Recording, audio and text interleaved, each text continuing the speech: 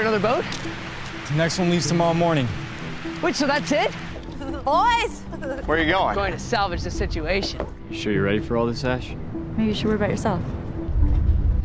So good news, Jake. Bobby here, his first mate on a fishing boat, says he can get us to Block Island. Tonight. Yes! Yes! Come and dance with me. Block Island, here we come.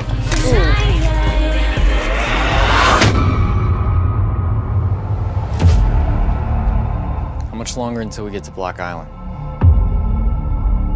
Block Island.